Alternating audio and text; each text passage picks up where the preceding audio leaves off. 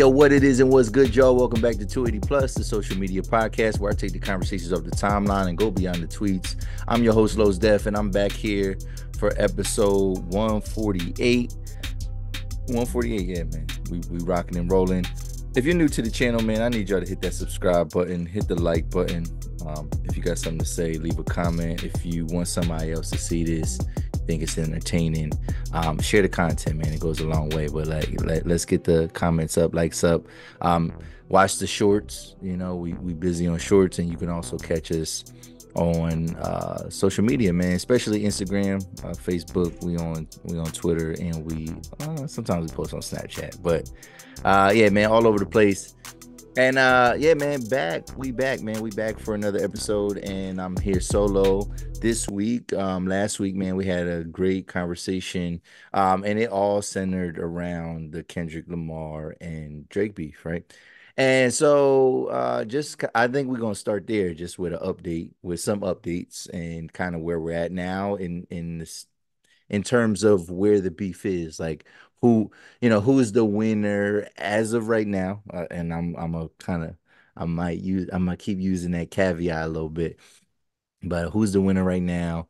And then all the things that have, some of the things not all the things because there's been a lot of things that's been kind of transpiring and then we've been hearing um lately but uh yeah man it's been it's been it's been a ride man. So since since i've last recorded since we last had a show uh, a, a bunch of things have happened, right? So um, it was it was crazy too. Cause uh, shout out to my man uh, Luigi, um, my man fucking fuck fuck Luigi, or you know, on on on Twitter. He's on Instagram too, but he he he's mostly on Twitter, man.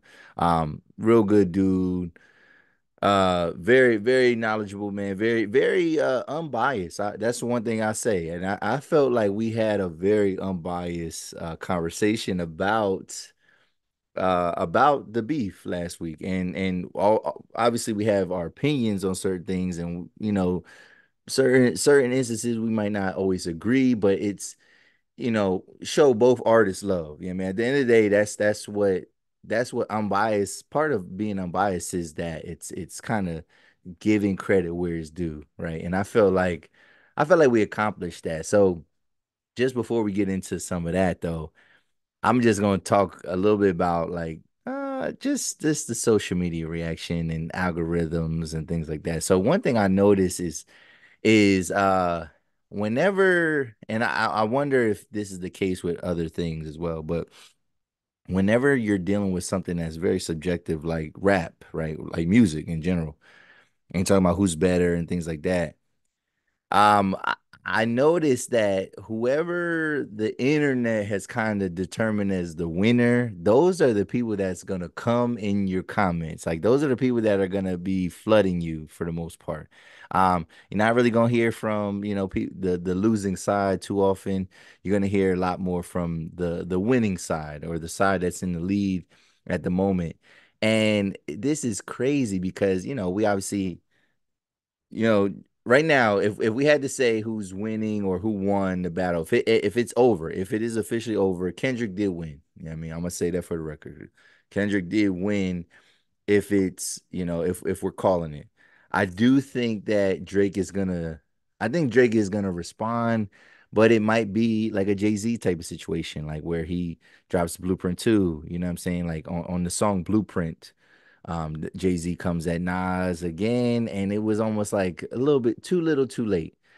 And but it's crazy because the narrative there is like Jay like walked away limping and and like he was struggling, and it, it wasn't even like that. Now Blueprint Two, um, it it didn't do the best out the gate. Like that was one of them albums that, and it was because it, he did a double disc, and a lot of times with double disc you can probably condense it down to one album. Like, I mean, like what is your best album and and, and put put that out, right? And so so the Blueprint 2 is a double disc. So like there was a lot of songs on there, and then people felt like, you know, it was, you know, maybe some throwaways or some songs that wasn't that great. So that that's what they're looking at, and and that's what could happen. Drake when he drops his next album, he he might address the beef. He might even drop another song um, but it might be for a lot of people, it's gonna be like, oh, that was, I mean, it don't matter no more. And that's kind of what happened to Jay Z. Um, people felt like he took a blow with Ether, and Ether is a good is a good diss song.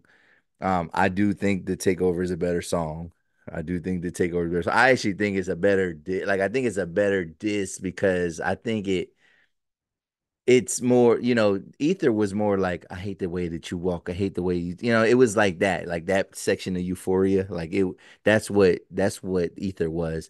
I felt like Jay kind of cut into who, who Nas was a little bit. And, and like, whether it's the business side or not, like, and, and, you know, we don't like to talk about sales and things like that. Like he was harping in on that because that, that's, that's what this bat that's what that battle was about. It's about who's the best. You know what I mean? And that's kind of what this battle is about too. Um, but yeah, Drake is gonna probably put some out, and it, it's probably not gonna it's probably not gonna hit the same, um, especially with this time going. Now, since we recorded, the Heart Part Six came out. The Heart Part Six, literally, yo, that joint dropped like, I, and I'm I'm dead serious. It dropped like a half hour after we were done recording. And so it was like, you know, when I first heard the Heart Part Six, and I'm gonna I'm gonna speak on this first, and then we're gonna get into try to wrap some of this up. Um, the Heart Part Six, when I first heard it, I was like, oh, Drake is rapping. Like, yeah, go Drake. I mean, defend yourself. You know what I mean? Like that's that was my feeling when I was listening to it. I was like, yeah, like, oh yeah. You know what I mean? He's addressing all these things. He's addressing all these things. And it did not get received well though. The Heart Part Six, especially by Kendrick fans, I think people or people that are siding with Kendrick, it did not get received well. They were like, "Oh, he's throwing in the towel. He's, oh, he's scared. Oh, he's quitting. Oh, he don't really want that smoke. Watch Kendrick gonna still drop all this, whatever." But like Drake was rapping, rapping on there. Like he was really rapping and I thought he did enough. I thought he did enough to like, if at the very least make it, at the very least make it debatable. You know what I mean? And I think this is a this is still a preference battle. Like if we talking about it, there are going to be still people that say uh, uh Drake won. There's going to be people that say you know Kendrick won. So um it there's a lot of irony though in the Heart Part Six because um, he Drake is like keep talking about when he's talking on. He's like, oh yeah, all my stuff was straight facts. Like, let's get to the facts. Let's get to the facts. And then as things have uh, things have progressed, and and also too, it's things that we can imply. Like there was there, there was lies on both sides. You know what I'm saying? There's lies on both sides. It's just that the and Drake did have a, a quite a few missteps. You know what I'm saying? He had quite a few missteps. And I think the the thing is that is that Drake just has way more material to come at him. Like he has way more, you know, chinks in his armor and things that you can clown him about. And he's very Google Google. He, he's very searchable on Google. Like you could search, you could find anything on, on him pretty much. Uh, crazy narratives, conspiracies, damaging things, questionable things. Like he has a lot of that type of stuff. And Kendrick is it's pretty straight laced. I mean, he's pretty it's pretty straight edge. Like you don't really got no controversy. And you know, even but but again, too, I, I like what Big Daddy Kane said. I'm and I'm going on tangent real quick, but I like what Big Daddy Kane said, and he was just like, "Yo, like back." He didn't like this battle because he was like, "It's too much people like trying to dig into like who's telling the truth, who's the." He was like, "But but if if it was a hot rhyme and you can get people to react to something, that's what it used to be about." And that's kind of even my stance on it was with even with battle rap, like there's a lot of things that people say in battle rap that that's not necessarily true. Sure, you you do pick an angle and like you try to like it's almost like you're selling an angle and you're trying to make people believe things. Cause yeah, a, a beef and and a battle, it's all about changing the perception on that person. It is about the skill, right? But when the skill is like I think I think Kendrick is technically more gifted than him, but like Drake is not that far off in terms of of skill and ability, and uh, in terms of like being able to ride a beat and like really, really be rapping. And I don't, I, I'm, I just don't want to hear the ghostwriter stuff. Like, like there's no way that he just has ghostwriters writing to the to the degree in which Drake raps, or I mean, it, it's not even about ghostwriting and things like that. It's it's literally like whoever is go if somebody was actually ghostwriting for Drake, like they're literally using language that he uses. They're they're making references that he would like that he would use because Drake makes all these like big time and I, Drake learned that from Rick Ross, like the just the lavish references to stuff that like we don't like. You have to search what the fuck he's talking about because you're like, oh, oh, that's what he meant. And and the thing is, Drake doesn't get credit for his entendres and and his wordplay because it's so palatable, like because you hear it clear and it, it feels like you don't have to decipher it. But like just like he, I feel like I'm he's not like Jay Z, but this is a quality he has. Like Jay Z says stuff that sounds very simple, but like it's it's late. It's actually very layered. You know I mean, and when you really when people do deep dives on Jay Z's lyrics, you'd be like, oh, oh, he was talking about that because it's it it's these like obscure references that make so much sense after you know what it is, whatever. So, but yeah, like just talk, talking about battle rap and and and these kind of beefs, it always used to be about just who who again who can change the narrative, who can control the crowd and things like that, who can you know who can get people going. And this battle got too much about like, well, who's telling the truth? Who's lying? Who's this? Who's that? Who who's telling more truths? Who's telling bigger lies? And the thing is, when you have when when you have certain things in your back pocket, like Kendrick did, um, just about you know when it comes to like some of the questionable maybe interactions that that Drake has had, even though people have come out and said like, "Yo, it wasn't. It's not like what y'all think it is." Um, even even in in that breath, um, it's it's it's you call somebody a pedophile like they it's almost like they lost like it's like because now you're you're fighting you're fighting such a big deficit you know what i mean when you're when you're trying to overcome that because now you gotta everybody's looking at every conversation that you have. They're looking at every interaction you have. They're looking at the women that you mess with. They're looking at you know and so so everything gets into a microscope and when you when you when you look at certain things too close you don't see the full picture. You obviously don't see the full picture. Like, yeah, you might get a narrow view on something that, that explains your narrative, but like, are you thinking about the bigger picture? Probably not. So, um, yeah, man, that's that's just kind of where we're at. One note that I'll say is, um, this is this is this was funny about this beef was that, and I'm I'm gonna preface this right. So I I always talk about how although I am a Drake fan, right? I'm I, I do like Drake. I have I'm not a day one Drake fan. I'm not a take care so far gone Drake fan. Like I did not like I really did not support Drake until 2018. It was when he it was kind of when he was in the middle of his Pusha T battle where it was like, yo, like this guy, like he he was getting knocked. It was almost like he became the underdog almost. I mean, he got, kind of got knocked off his pedestal and then, but then I'm seeing him like hold his own, and I'm I'm thinking he's spitting because it's like, yo, Pusha T. Like I like Pusha T, but it's like, bro, you you hating right now. Like you know what I'm saying? Like you covered at this guy because because he's more successful than you. Like you hating. So um, that's when I started really like fucking with Drake, and like from in 20, uh, Scorpion is my favorite album. Scorpion is my favorite, and I thought you know, so like one thing is when I came into like when Drake first came out, I used to say the stuff like, "Damn, like man, how y'all liking this dude? Man, he from Canada. Man, how y'all liking this dude? Uh, he got he had a head start, man. I mean, he was he's a TV star on Degrassi. Oh man, how y'all like this dude? This guy has a head start. He got a co-sign from Lil Wayne. Oh, he immediately gets signed by Lil Wayne. Like, like he oh, he's in Young Money now. He's a part of this this new group, um, this super group, so to speak and and he's he's getting all these accolades doing a lot of singing on tracks and and back then you know you think about when Drake first really started popping off in 08 09 2010 right like and that's where that's that was his wheelhouse and it was like I wasn't listening. I wasn't checking for that type of music. I was still, it was still the mixtape era was still holding on. You know what I mean? By Dear Thread. Um, you know what I mean? 2009, you get you get Blueprint 3, you get Loso's Way, you get you get um The Last Kiss. Uh uh 2010. I mean, there's a lot of albums. There's, st- there's still a lot of rapping. I mean, Rick Ross is is at the top of the game, you know, is one of the top people in the game at that time. 2010, right? When Teflon Don comes out. Like he's he's at the top at that point. He had got past 50 Cent.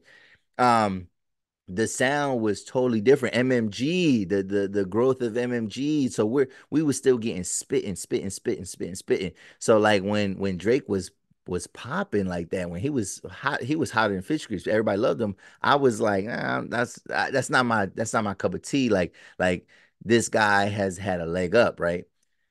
You know, and then even when he was even progressing into views and stuff like that, when he's using different accents, when even before that, Hotline Bling, right? He's like, I'm like, this guy's a pop star. Like that's what I was saying about him, and I was a hater when I was saying that t- type of stuff about him. Today, that that's the narrative now. It's like, oh well, he's been a he's been a culture vulture. He's from Canada. He's light skinned. He's, you know what I mean? He, you know, he's stealing from he, he he doesn't really live this life. He's not a tough guy. He's not this, he's not that. He's a singing dude. So that was that that's the narrative now. That's the pop it's popular to hate Drake right now. And that, that's where it's like kind of it's kind of getting weird because it's like, yo, all that stuff existed and y'all didn't care. Like y'all, y'all made people look like haters if they didn't fuck with Drake. But now it's cool to hate Drake and is it because Kendrick is the right messenger for that message to deliver that that he's this that he's that he's this is is that what it is or is there an agenda right so now circling back to what I started this with right it's it's crazy how the algorithms are because like anything I anything that we posted that was in favor of Drake at all or praising of Drake it was all these people just in the comments like, oh, these Drake fans, oh, they don't know how to do. And it's like, oh, I ain't no Drake stan, right? Like I'm not, I'm not like that. You know what I'm saying? Like I actually want you to look at some of my other clips, whatever, because it's crazy because the clips that were about Drake got the most views and the most comments, right? Negative comments, whatever. But then even the stuff where I'm praising Kendrick, ain't nobody watching that shit. You know what I mean? So it's like the algorithms are acting really, really strange. Um, and it's just I don't like I don't like where um this this battle became about the cultural currency as opposed to being about um I don't know this the music. It it stopped being about the music. It started being about all these other things. So I'm gonna read this one thread that I seen. Um, I'm gonna I'm gonna read this one thread that I seen today, and um, it's just a fan. It's just somebody you know it said, um, for some Kendrick fans, blackness is their entire identity. That's why it's so important to them that black people adhere to black stereotypes. You have to listen to certain music and dress and speak, talk, date, vote, and act a certain way. If you fall outside of these guidelines, they will say you're not black, especially if you're biracial. And this don't even look like a and to be honest, when I'm looking at the the thumbnail, this is this just look like a brother. This don't look like somebody that's light skinned or, or, mixed or anything like that.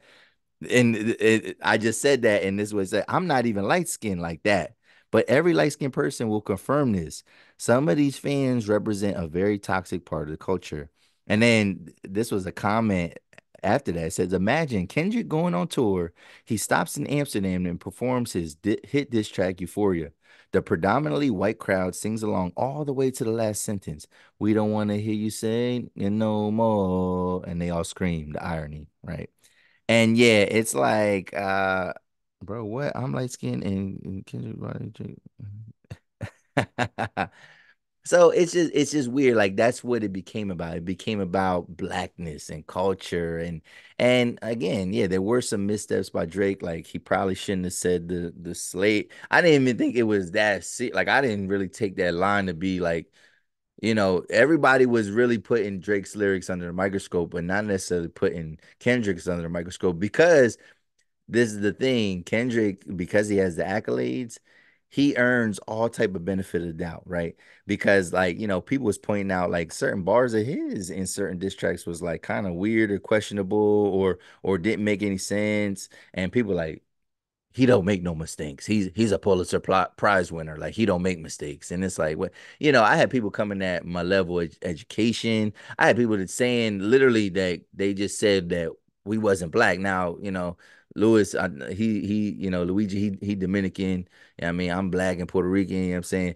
So, but like I'm a I'm a brother, you know what I'm saying? So like it's like it, and it's just funny. It's like those are the comments that you just don't you don't engage with because it's like, man, I'm not about to have no argument with somebody that I don't know, that don't know me, that I'm never gonna see about my who I am. So it this shit don't matter. You know I mean, at the end of the day. But um, yeah, it just it just the battle just got got out of hand in terms of that.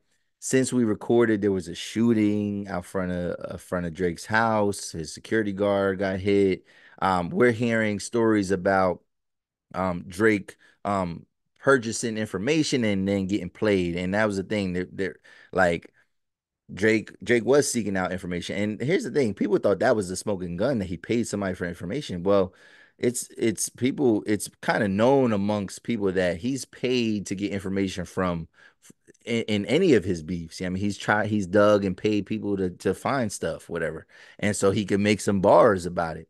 And that's not even the smoking gun. I mean, to me, I'm like, okay, that's just kind of like how it kind of goes, especially in the industry. Like you gotta find you gotta find content, you gotta find material, and then and then you go from there.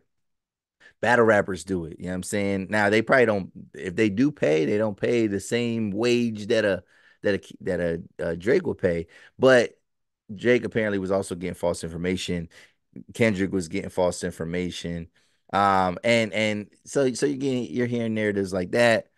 Um, you're also hearing narratives that like, you know, it feels like, you know, the the powers that be wanted this beef to end because it's not good for business.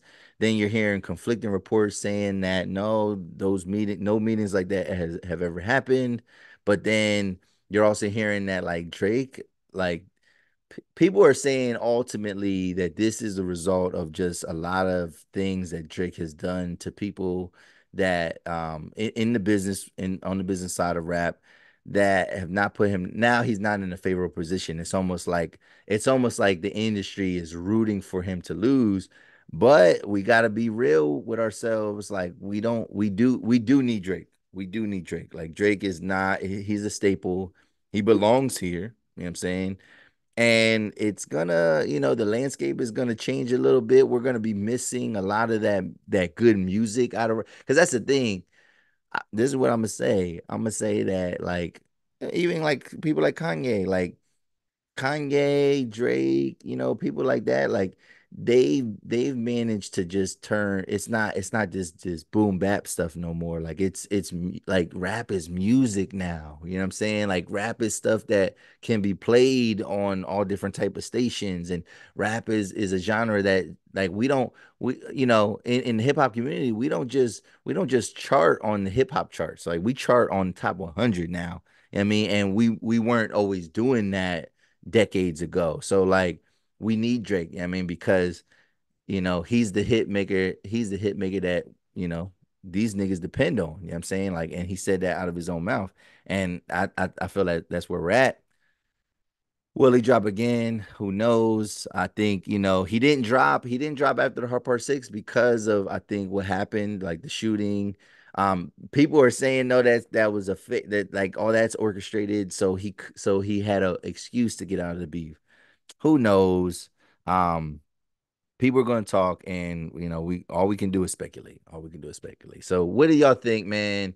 I I I, I have a feeling I know who y'all think is winning. Um, but leave a comment more what you think about this beef in general. Where does this rank? I think it. I think this is I said it in one of my clips is that, you know, beef depends on the replay value. I think there is a lot of replay value in a lot of these and, and there's there's at least like four or five songs if we took all the songs together there's like four or five that like really have replay value. Um, we're gonna say like that. We're gonna say push-ups. We're gonna say family matters. We're gonna say not like us, right? I think those those tracks have the most replay value. Um, I mean, I, yeah, I don't think Euphoria don't have replay value. Taylor Made don't have replay value. Um, Heart Part Six, not really. Six sixteen A in in L.A. Meet the Grahams, like those songs, they don't really have the same. People are going to listen to them because they want to, like, you know, oh, let me revisit this. But like in terms of like what we're playing, it's gonna be the, the four songs that I mentioned, and those are probably the, those are the four songs that really came out. I'm just grateful. I think hip hop won. I think hip hop is winning. I I I've been wanting more music. I've been wanting better rap music, and like yo, it was like the rap gods was like here, Los. Yeah, I mean here go here go a beat for you, and then Uh, we got some we got some classics out of it. All right. Let's move on. Let's move on. So today's show, man, we're gonna talk about some some TV. We're gonna talk about some comedy, actually, man, because over the last couple weeks, some big some big comedy has has been dropped. All right, stand up material. We got other types of comedy that have dropped, and we're gonna kind of and and these are two titans in the game, right? Another this is kind of beef, but it's not beef. I mean, it's like a, it's one of them silent. It's like a Cold War silent beef.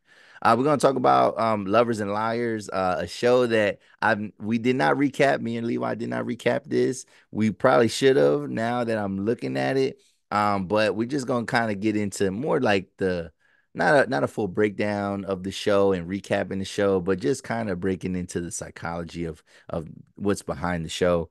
Um, and then we might touch a little bit of um NBA playoffs just as we stand right now because it's hard to really get into it too much and give you like I can't give you real time analysis, but I can give you some overall takes on what I what I feel, man. But all right, so let's move on.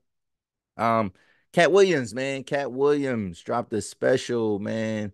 Um, and and we're gonna we're gonna piggyback that, and we're gonna talk about a little bit of the roast, Tom Brady roast, right? And so we got Katt Williams special came out that that weekend, that Saturday live, right? And you know what else was live? It was the Tom Brady roast hosted by who? Kevin Hart. So so in real time we had a Kevin Hart versus uh uh Katt Williams type of thing. And and really you could see that you could see the differences in terms of like who's mainstream and who's underground, right? So Katt Williams, his new special Woke Foke, um, it came out, and I would say I, am gonna say this: Katt Williams is Katt Williams. You know I mean, Katt Williams was being Katt Williams in that in that special. Katt Williams is funny.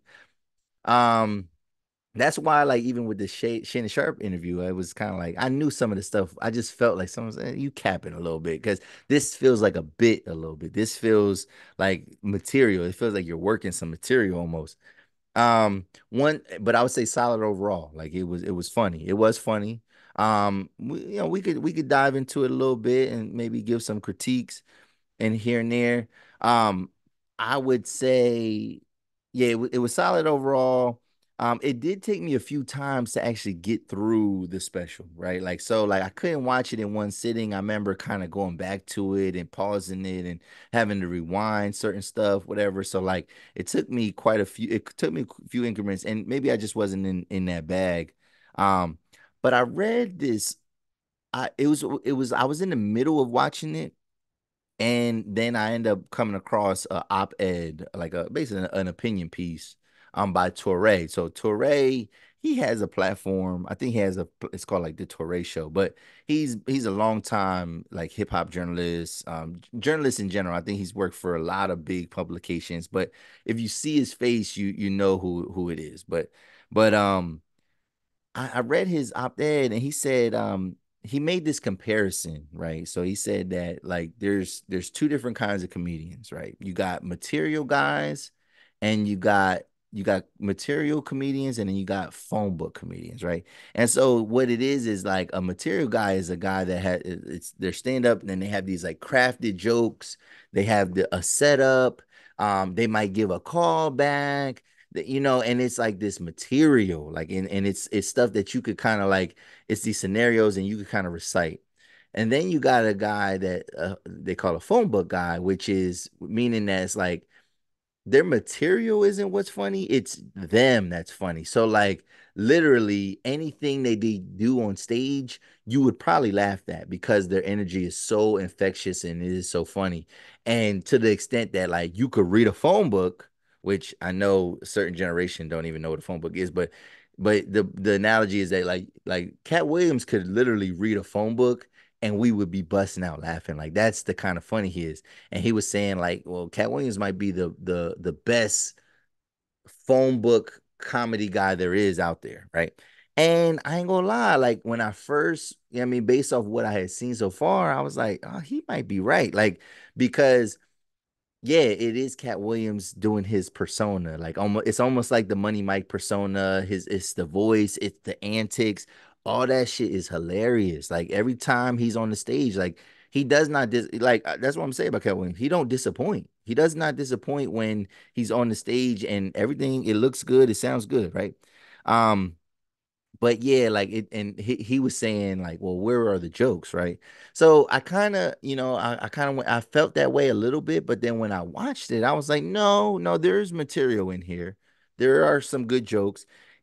I mean, the craft of, of, of great stand-up comedy is there. He he did have some callbacks in in the mid in the middle of the set, like he he making jokes about certain things and whatever.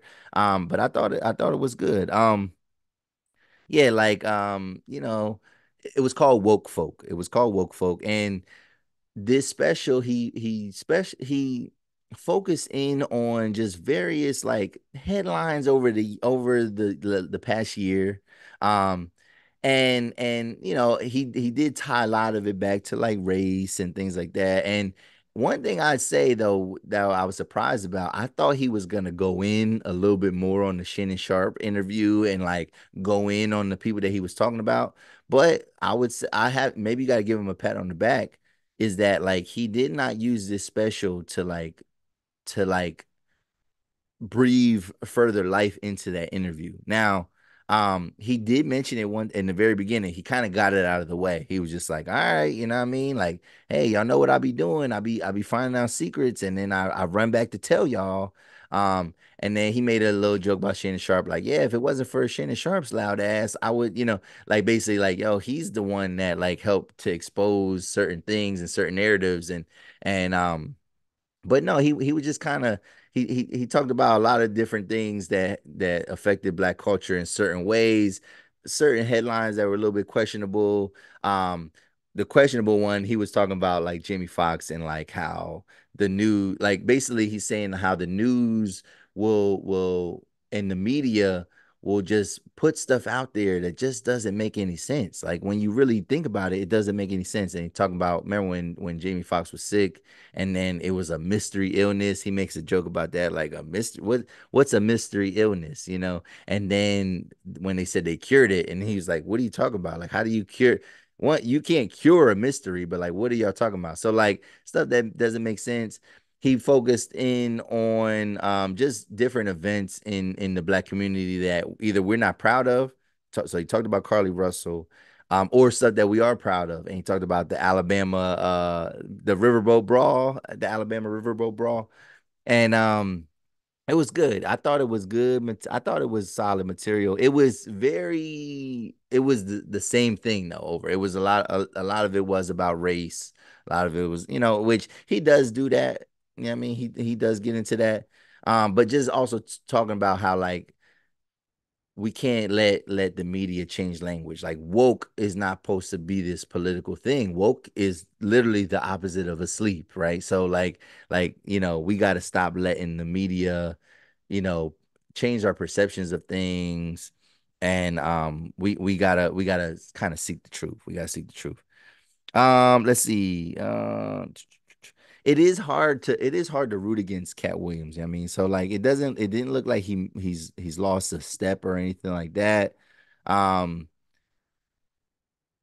I would say this it was a good it was a solid special. This is not his best. I don't think it's his best uh special, you know what I'm saying? But it there wasn't there wasn't anything bad to say about it. Like for real, for real. It wasn't really nothing bad to say because I was laughing the whole time. Like I was I was laughing the whole time and that's there, there might have been there was there was a missed joke here or there like there he made this weird uh joke about white slaves and like how they were the worst slaves and like but it was like it just didn't tie into nothing because it was like you know like that's a lie that that people told that white people have told that that black people are lazy even though we're like hardest working he was like well here's the secret.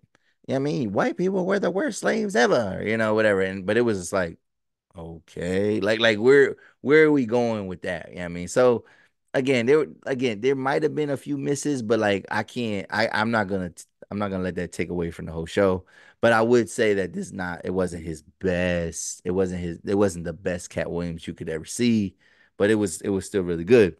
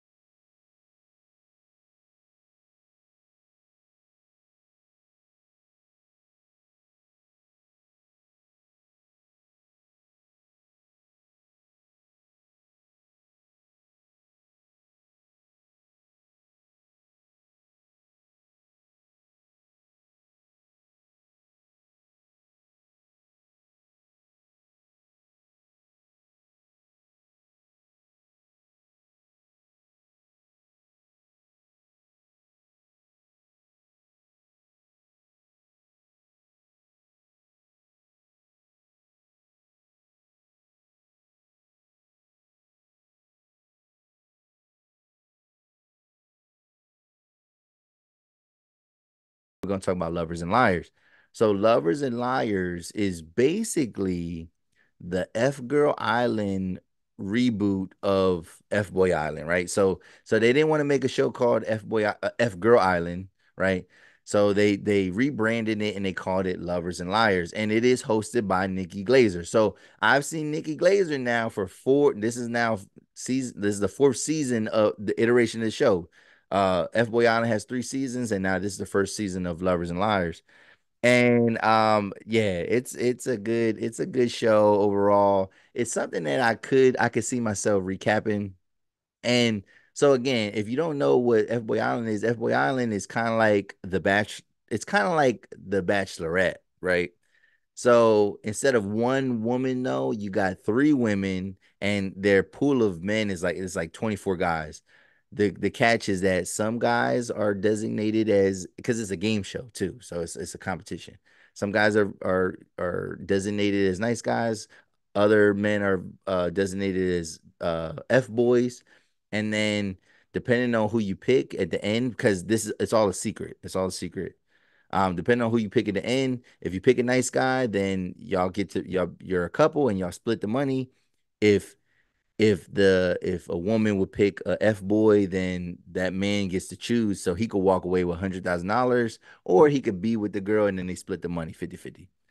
So this is now the inverse, right? So now it's now it's like the bachelor, but again, you got three guys and then they're trying to get this pool of women.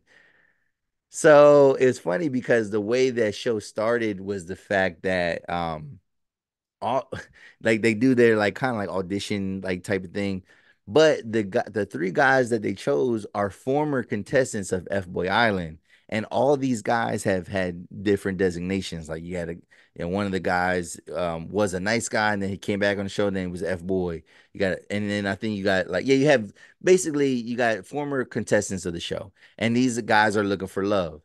Now, the show the psychology of the show is to to basically can you based off of you know short interactions with somebody face-to-face interactions can you determine somebody's deeper intentions?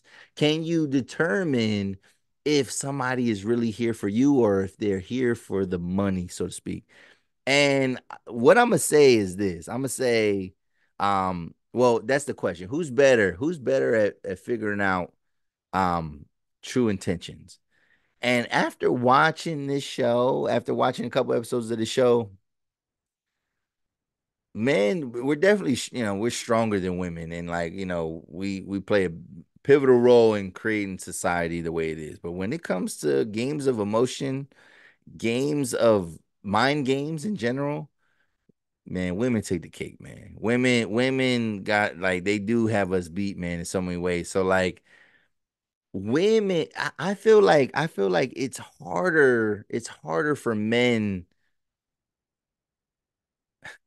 men lie I think I think I think we all lie probably we probably lie to the same degree right men typically are bad at lying like so to speak because you know men we get we get caught you know in our lies and things like that like we you know women are sneakier. I, I think women are a little bit more stealthy. Part of the stealth has to do with the fact that there's certain social constructs and norms that you know a man is not allowed to be like asking too many questions and and eh, he got to be confident he got to be secure you know i mean but he can't he can't do the digging and the the, crazy stuff that women do to figure out stuff you know i mean so so that's part of it like we don't men don't investigate women at the same rate that women investigate men. I'm of course there are men out there that, that do their digging. Um, but that's part of why they figure stuff out. I mean, and in why we probably why we think they're sneaky is because um we don't really be diving into stuff. But I would say that it's I think it is I'm seeing that it's like there are a lot of men that kind of go into situations and they hide their true intentions and they end up dogging dogging certain women out but I feel like it's easier to detect when a man, because I'm a man. So when I'm when I was watching F Boy Island, it's like, girl, how don't are you dumb? Like, are you silly? Like, how don't you see that this guy is who who this guy is? Women know. Oh yeah, no, no. It it's hard. It is hard. like based on this logic, whatever, I think in in the real world, it's probably not because I think most women come in with good intentions, unless if you're kind of coming into a situation leading with your money and things like that. Then yeah, if you play stupid games, you're gonna win stupid prizes, right? So like if you lead with your money, you are very likely to get a woman that's like, you know, I mean, you're gonna attract you're gonna attract women that want money, right? And so you're to get a lot of women that ain't there for you necessarily. But I would say in the real world, most times women are coming in with genuine intentions.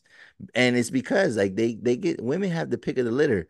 Men come in with bad intentions sometimes, or they don't show their true intentions because they try and get some pussy. Like they trying to get some ass because ass don't don't it ain't we don't have the access to like we do, but we don't. Like we you know we can we can you know seduce some women but yeah a woman she can have sex with like virtually anybody that she wants to if she wants to have sex with them. I mean she might have to put herself out there. She might have to ain't nobody say that ain't nobody saying that she don't have to like maybe lower her standards or like kind of lower her inhibitions or kind of look past her own you know social norms and things like that. But if she wants to lay with somebody, she probably could. If a man wants to lay with somebody, he, you know, unless he's unless he is fully lowering his standards, he gotta he gotta put some work in. He gotta put some work in. So like, yo, these women, man, um they're making it tough for these guys to figure out like who's nice and who's not because it's just like they know how to turn it on and turn it off and they're just like some of these women are just so sweet now the women that are really like really out shout out and like really F girls, I feel like you can see it. I feel like you can see it. But um these guys so far they're having a tough time because you got a couple contestants that like you know they're getting rid of a lot of nice girls and and and they're get they're feeling bamboozled one thing so i'm gonna i'm gonna just talk about the show real quick and then we're gonna wrap it up but like one thing i do appreciate about this show and this is something that this is for levi more so um and anybody that was interested in in f-boy island. So f-boy island season three took a took a hit because it went from being an hbo max show so it was a little bit more like you know a little bit more f- freedom and leeway to do what you want to do in terms of the content like, you know, they they weren't nude, whatever, but it was a little bit more like the language was different and everything. So and then they went to the CW, which is a family, it's a family network, it's a family channel. Um, and they they kind of switched how they did things, and it felt rushed. It felt, you know, season three of Boy Island felt kind of rushed. Lovers and Liars season one, right? So far, they're getting back to the essence of F Boy Island. And what I mean by that is like they're keeping it a mystery. For whatever reason, in season three, we knew who these guys were from the beginning. So what they're doing in F, in we're gonna call it F Girl Island. Um, what they're doing on this show is that they're they're going back to that to where like they they probably revealed like two girls off the rip because and it seemed like they revealed it themselves in their monologue, but like it's it's more of a it's more of a crapshoot. So like these men don't know what they're dealing with. Um, the episode that I just saw, and they do it every season. They they have an episode where the the either the girls or the guys, depending on who's who's being sought after, um, they they do a deep dive into their social media. Now, here's the thing.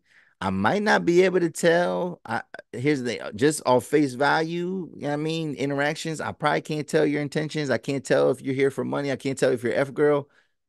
But lo and behold, that social media gonna tell it every time. Let's not, yeah, man. And this is it's funny because a lot of women were getting upset, like, cause like they didn't know, even though this is part of the show. I don't, you know, they didn't know this was gonna happen. So like there was a lot of women that were like appalled and shocked, like, oh my God, he went on my social media. Like, and this is the thing that so many women said. It's like, yo, it's not, it's not reality. It's not who I am. I'm not really reflecting who I am on there. But then it's like, I get it to an extent. Like, if you have a business, like you can't, you know, you cannot give your full personality. But like like so then what is real? Like why why why are we posting things that are not us, right? That are not representative of us? Why are we taking pictures of things that are not representative of us? Because that's a cop out. Like when we say, "Oh, I, I you know, Now me, I have I have I have two Instagram accounts, right? So I really like I don't really post on my personal anymore. You know what I'm saying? I'm not even gonna share my personal on this show, whatever. Like you could you could probably figure it out, like find it. You know I mean? So but um I don't really post on my regular. So my my identity has become more so the podcast. Now, there are things, there are topics that I bring up that might not be how I feel because a lot of times I'm bringing up a topic that I want. I, I'm trying to get engagement. I, I want it. I want to talk about these things either with a guest or with the audience. I want to. I want to have a conversation about these things, and sometimes I'm bringing up topics and, and I'm not saying anything about it. I'm just kind of bringing it up and like seeing what you think of it but but I can't and, and, and again some of the topics might not even be representative of how I feel, but it's just like yo, this is a good topic that's different than like posting pictures and acting like you're somebody that you're not. And that's what a lot of these women were like, no, that's not even really me. There was a girl that she goes to raves like all the time and she's like oh that's just a small part of my who i am and it's not really it's not really who i and it's like but but all right let well then let's see here's the thing let's put some timestamps on these on these posts. If you if unless you're posting shit once a month or something like that once a week you know what i mean? And it's like and uh, it's a variety of things and then like sure certain things recur and like we start seeing you at the raves like every night like at least once a month. Maybe that's not your personality but the fact that you posted it and you wanted it public and you kept it public it is it is a part of you. So let we gotta we gotta cut the shit right? And we can't be saying like oh it's not it's not really who i am sure certain maybe certain instances but like a lot of time like no it, that's who you are and again unless you have some duality and when i say duality it's like you have like two different entities two different audiences because you have like a personal page and you have a business page or content creation page or whatever it is um comedy page, rap page, whatever, right? Music page. Unless you have that kind of duality where, like, yeah, it is like I might rap about some things that I'm not living, right? You know, I might have comedy bits on stuff that I'm not really living, as opposed to like, yo, you're just kind of a regular person and like oh, we can tell that you're self-absorbed. We can tell that you're conceited. We can tell that you're into, you know what I mean, you're you're for everybody. You know what I'm saying? We can tell you like to show your body in a certain way, and like that that can tell tell a lot about uh, you know somebody. So like we gotta cut it out and be like, oh, but no, it's not that's not who I am. But but you're let even if that's not who you are, you're letting that represent you. You're letting that image represent you. So like who's real, who's fake at that point. So I don't know, man. I think y'all should check it out, man. Lovers and Liars, Lovers and Liars. It's on the CW. Um, I think the episode, new episodes come out on Fridays, but check it out. Um, probably towards the end of the season, you probably hear me talk about it again, especially if something egregious pops up. But that was that was that was the key for this last week that I saw. It was the social media thing, and it was like, well, do we or do we not you know, show who we really are on social media. You got again, you have a lot of people, men and women, women and women that be like, "Oh, this ain't real, man. Y'all, y'all can't believe everything y'all see." But then, but why? Why is that? If you don't want people to believe what they see, why are you putting that out in the first place? That's the that's the part where we got to be real with ourselves. Like, okay, but but you're letting that be your image, whether right, wrong, or indifferent You know what I'm saying? Maybe you are here to entertain. Well, then you need to have two pages. Then you need to have that entertainment page and you need to have that personal page so we know what the difference is. All right. And then last thing, man, just before we wrap this up, man, just going to talk about the playoffs a little bit, man. The, the playoffs have been um it's been great, man. Um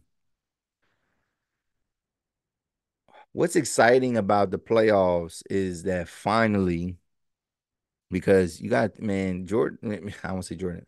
LeBron, man, LeBron is really LeBron and guys like Steph Curry, Kawhi Leonard. You know what I mean? Tim Duncan ain't in the league no more. You know, like there's a lot of Kevin Durant. Like you got a lot of like we are actually seeing another. We're in real time. We're seeing another generation evolve, right, and develop, and and and we're seeing a changing of the guard and we we kind of been seeing that once the once the warrior dynasty kind of ends um and we thought it was over. We thought it was over when the Raptors beat them, right? And then two years later, they came back and won again, right? They beat the Celtics. But then, but we've we've had some first time champions, right? Like, and not, maybe not franchise, but like we had guys that won their first championship. We had Giannis win his first championship. We just had uh, Jokic win his first championship. We had the fucking Phoenix Suns in the finals against the Bucks, right? Uh, who the Nuggets? Who they beat? Like, oh, they they played the Heat. The Heat's pretty much a mainstay. They they've been around, but it's exciting to see because you know after the after the playing games after the first round, right? We we don't have we don't no Kevin Durant in the playoffs, no LeBron James in the playoffs. You know I'm saying, and um obviously no Steph Curry in the playoffs and and the Warriors and all them, right? So we're really seeing like these younger teams like come out of nowhere and like yo like I mean, you get you get that taste of the playoffs. Hopefully, you can you can replicate that.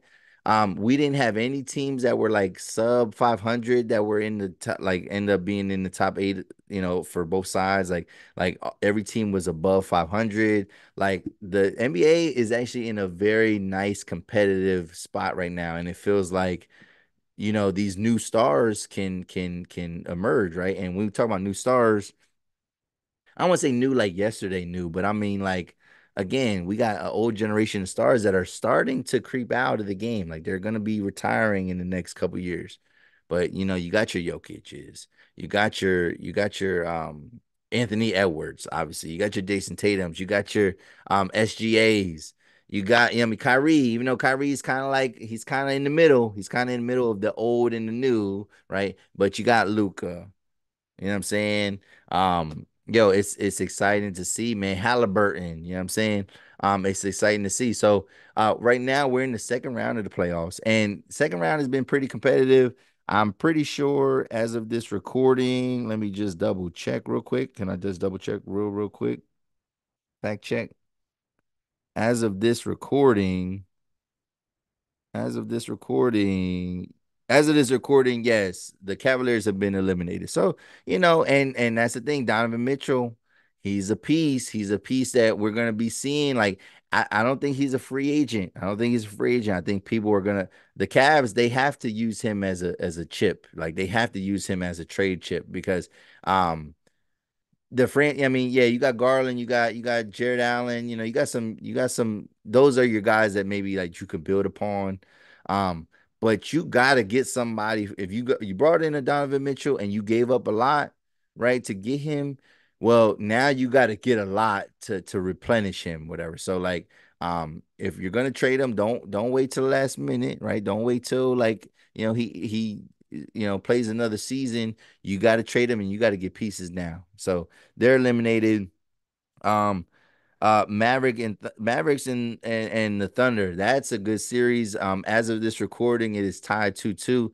At the end of Game Four, I was just like, I was looking, I was like, yo, I was watching. I said, yo, I think I think OKC is gonna they're gonna they're gonna take it. They're gonna take it. And then, yo, SGA man, he just was yo, he's nice, nice. Like I again, like some of these some of these guys, we're gonna start. I think when certain players kind of stick around for a little bit, it does make certain the casual fan a little bit jaded, and you're like, oh my god, I don't want to see LeBron and Curry in the finals again.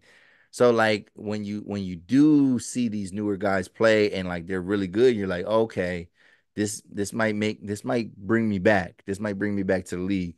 Um, but yeah, Shai um Shai Gilgeous-Alexander, man, he bro, he just he takes he's so crafty. He's quick, you know what I'm saying? He's a great playmaker and he you could tell the shots that he takes, he practices those shots. Like like he gets to he finds his spot and he's going to take the shot to you know I mean that he knows is going to go in. It's always going to be a pretty high percentage shot. He's he's nice.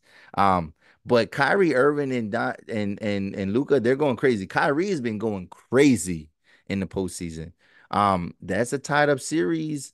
Um, if I had to say, I probably I would like to see SGA go, but I think I think I think the Mavs have what it takes to win. You know what I'm saying, and Kyrie Irving, he he got he wants to prove that he's like he's not just a stat padding, you know, hot sauce dribbler. You know what I'm saying? Like he wants to show people that, like, yo, no, I'm a I'm a superstar.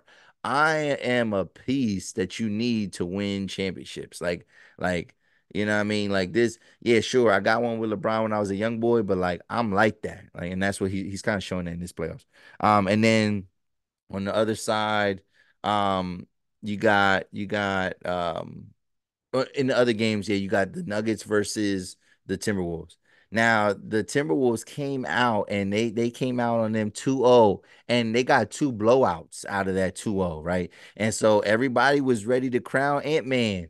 You know I mean? Jordan's son. You know I mean? They was ready to they was ready to put the crown in set. And Anthony Edwards is a beast. When you look at their the way their team is is constructed, it's it's it's a tough, they're a tough out, man. They got a great front court whether you like Rudy Gobert or not, right? Like he he's defensive player of the year, whether you agree with that or not, he's still he's still a piece. He's a formidable piece. You got a power forward that should be a, a center and KAT who who can get he's a 20 and 10 guy and he can shoot threes. You got you got veteran solid point guard in Mike Conley. You got your two guard and and Anthony Edwards who could do a little bit of everything and then you know you put in McDaniels um, anybody else off their bench is is they got a solid bench. You got Naz Reid coming off the bench, like just balling out. Like everybody's giving 110%. Um, they're good. They're a good team. And so it made it look like, yo, it, the Nuggets look kind of fraudulent. They look like, damn, like, yo, this thing, y'all about to give Jokic another MVP and like he about to go out and get swept.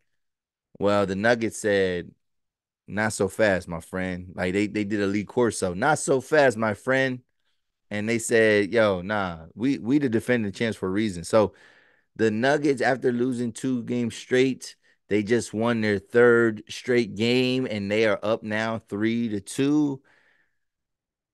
I would like, uh, you know, as much as I would like to see Ant Man kind of de- dethrone that, well, you know, kind of ascend on his own.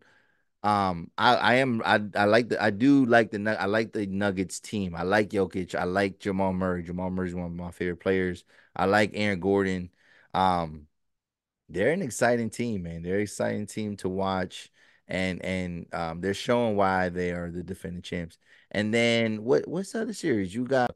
in the other um, Eastern Conference um, playoff series, we got the Pacers versus the Knicks. Man, talk about nostalgia. Like that is a that is a nostalgic that's a nostalgic series, man that's why I am excited about about this playoffs because we like although it's a new guard and we're seeing we're seeing new guys kind of come in and, and, take over. But you know, the fact that the Knicks, the fact that the Pacers, they're in the playoffs in a playoff series. Like we used to love seeing Reggie Miller go go to the garden and do his thing. I mean, the, the NBA is better when the, the New York Knicks are good. Like, and they're doing it with they're doing it with a bare bones roster, right? You got guys, these guys are playing 45, at least 45 minutes a game.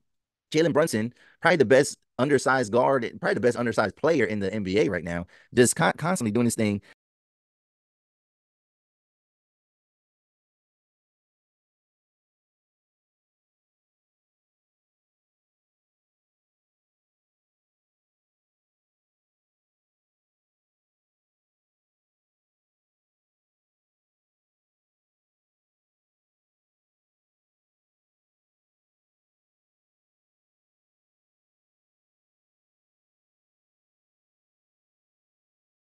Any game that Jalen Brunson is like doing well in. Now he's a volume shooter. He's a volume shooter, but like he's driving 40. He's driving 40 in a lot of these games. Like he's going crazy. He's going crazy out there.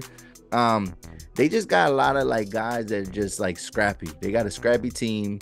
Um, well coached team overall, I, I would say. Thibs is, you know, he is a little bit questionable, but um, they're doing their thing. They're doing their thing. So I'm excited, man. Excited to see where it is. Um, it's gonna be Celtics and Knicks in the in the Eastern Conference Finals. It's gonna be Nuggets,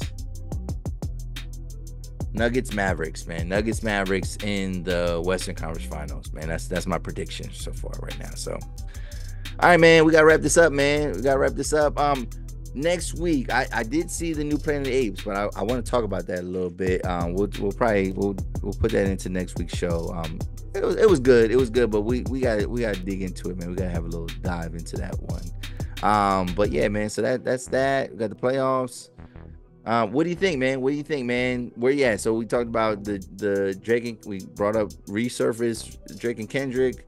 We talked about the show Lovers and Liars. We had talked about the Katt Williams special, the Tom Brady roast, and then we got a little bit of basketball in there too, man. So, uh, what y'all think of this week's episode? If you're still watching, I need y'all to hit that subscribe button, hit that like button, um, share the content, share the content, share the content, comment, comment, comment, comment, like it, like it, like it, please do your thing, man, so we can keep this thing going on.